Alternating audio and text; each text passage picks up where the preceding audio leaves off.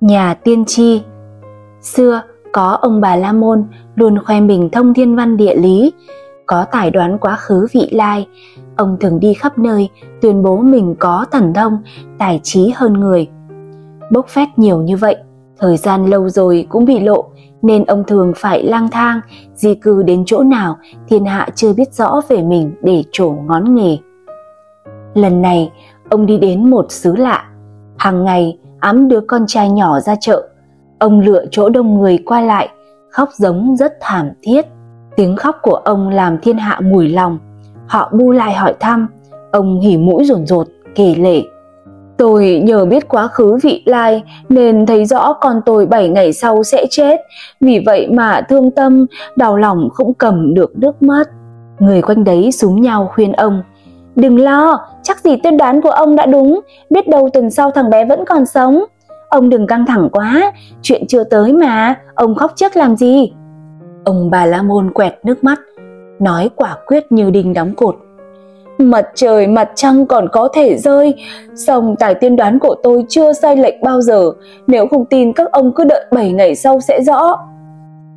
Đến ngày thứ bảy, bà La Môn dùng gối giết chết con mình, ẵm xác nó ra chợ vừa khóc vừa kêu. Quý vị xem này, con trai tôi đêm qua vô duyên vô cớ tắt thở rồi. Người xung quanh suýt xoa kinh ngạc, ai cũng cho ông là có tài tiên tri như thần. Họ súm nhau an ủi và xin theo học với ông, cùng phụng ông rất hậu. Nhưng ông bà La Môn vẫn chưa vừa lòng. Vài ngày sau, ông leo lên cây cổ thụ gần cổng thành, đù tỏn ten trên đó và không ngừng kêu to hãy dâng cho ta một trăm con bò, một vạn quan tiền, một đầy tớ gái. Nếu các ngươi không làm đúng theo lời ta yêu cầu, ta sẽ buông mình rơi xuống đất cho chết. Chừng đó cả thành này sẽ bị hủy diệt hết cho mà xem. Những người nhẹ dạ nghe hầm, sợ quá, lật đật đáp ứng theo yêu cầu của ông và năn nỉ ông hãy tụt xuống cây. Không nên tự hại, gieo họa cho dân. Cứ thế, mỗi lần cần lợi dưỡng, bà La Môn đều leo lên cây hăm he, làm nư đủ điều. Ngày nọ, ông cũng giờ mừng cũ, hầm thả tay, buông tay, không may bị vuột thiệt, thế là ông rơi xuống chết tươi. Dân trong thành thấy thị trấn chẳng bị hủy diệt gì giáo, họ hiểu ra và bảo nhau.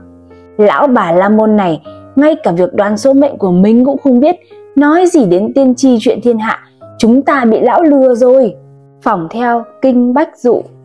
Bài học đạo lý Thật ra, khi người ta đối mặt với quá nhiều khổ đau trong cuộc sống, những lúc tuyệt vọng cùng đường, họ thường tìm an ủi cầu may bên ngoài. Dù vận đỏ chẳng đến như thầy bói nói, song những lời tiên tri không thật vẫn có tác dụng du ngủ, vỗ về và xoa dịu cơn buồn hiện tại. Vì nó cho người ta niềm tin hy vọng về một tương lai đổi đời sáng lạn. Không có thầy bói nào nói thân chủ sẽ gặp toàn xui xẻo mà sẽ đoán có đủ rủi may rồi đen đủi sẽ qua và vận sẽ hên vì không ai bỏ tiền ra để ngồi nghe thầy bói chủ ẻo mình. Hy vọng và mơ ước là tâm lý thường tình của con người, thậm chí người ta còn sẵn sàng tự huyễn hoặc mình để trốn tránh đau khổ.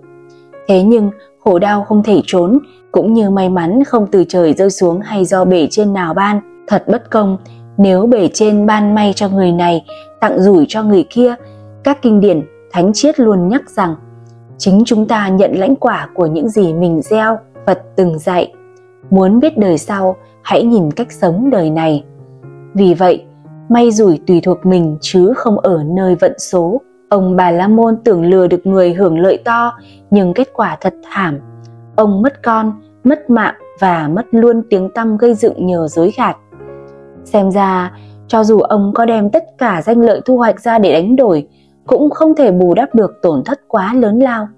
Cái này gọi là tính giả hóa non, lừa người thành hại mình. Ha ha ha,